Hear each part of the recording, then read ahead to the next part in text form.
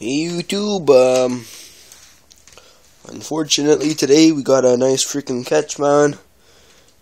But, uh, well, it wasn't unfortunate, but it was unfortunate I didn't have my camera.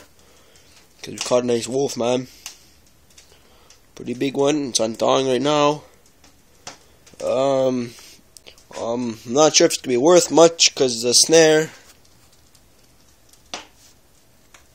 cut his throat open. So I'll have to sew it back up. Other than that, it's a nice uh, wolf, nice fur. Pretty nice size one, I guess. So uh, we caught that today and uh, three weasels, man. Got this one on a 220 pole set. Uh, I don't know how he got snapped in a 220, but anyways, and these two got them in. Well, this one in a rat trap, and this one uh, I think that was in a rat, tra a rat trap too or a 120. I don't know, man.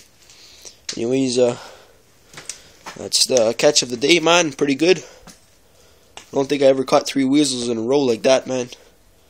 So, uh, and a wolf. So that's my second one this year. And I caught a coyote this year, so. No more furs hanging up, really, other than marten and a lynx. Uh, I sent them all out to auction last week. But we got this lynx left to send out because I caught him after the sale, the sale, whatever, and two beavers, one there and one in the back. So, anyways, just wanted to show you guys my catch.